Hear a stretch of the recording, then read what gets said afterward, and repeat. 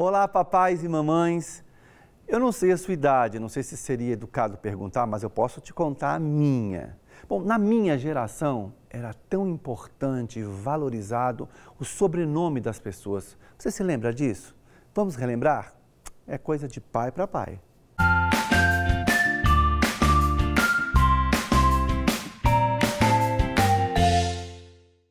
Infelizmente, vivemos em um tempo em que os sobrenomes das pessoas não têm mais qualquer relevância. Puxa, era tão forte para mim poder dizer eu sou dos Bragas ou eu sou dos Espagiares.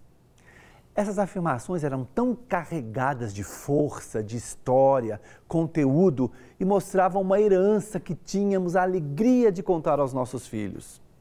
E nessa herança, quantos achados importantes dos nossos avós, bisavós, que quebraram barreiras para que hoje tivéssemos tantos privilégios adquiridos por suas lutas, não é assim?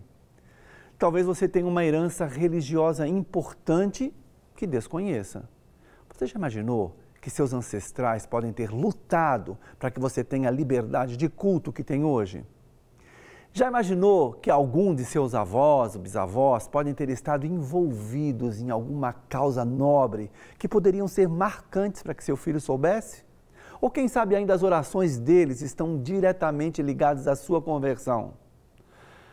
Precisamos resgatar esses históricos para compartilhar aos nossos filhos. Infelizmente, cada dia mais perdemos a oportunidade de estarmos sentados juntos à mesa e, com isso, deixando de compartilhar coisas tão importantes que ficarão na história da nossa família. Eu acho que uma boa iniciativa para sugerir para você seria visitar seus parentes mais idosos e deixar que eles contem suas histórias. Leva seu filho com você, esse contato será precioso para ele e isso o encherá de informações para que repasse para a sua geração também. Pesquisa aí na sua geração até achar a primeira pessoa que se tornou cristã, por exemplo. Poxa, você terá mais razões ainda para agradecer a Deus e abençoar essa, essa pessoa.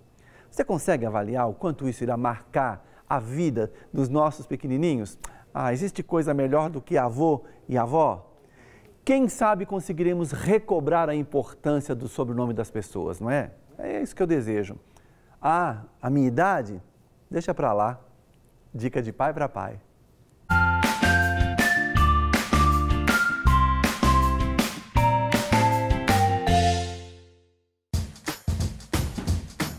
Não quer ficar um segundo por fora da nossa programação? Agora você pode nos acompanhar através das plataformas digitais. Queridos amigos e amigas, preciosos irmãos e irmãs, não perca tempo. Acesse, curta e siga-nos. Fique por dentro de tudo o que acontece aqui. Rede Super, inspirando você.